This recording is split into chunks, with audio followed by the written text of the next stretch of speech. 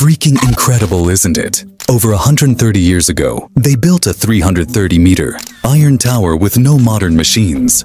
How did they pull it off? First, they assembled thousands of metal rods to create the tower's legs. Piece by piece, the prefabricated modules were lifted, using steam-powered cranes and carefully connected. It took over two years, 2.5 million nails, and 18,000 metal parts to complete this engineering marvel. When finished, it was the tallest building in the world for 40 years. But did you know it almost got demolished after 20 years? Many people hated it initially, calling it an eyesore.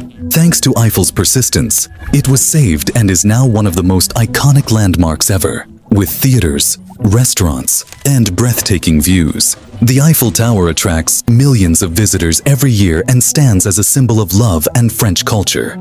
So, would you brave the stairs or take the elevator to the top? Let us know in the comments.